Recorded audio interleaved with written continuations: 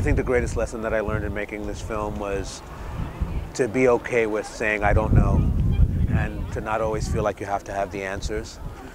but to have a level of confidence that allows you to make everyone around you feel like even though you don't have the answers, you're not afraid of looking for them and asking for them. And I also think it's about,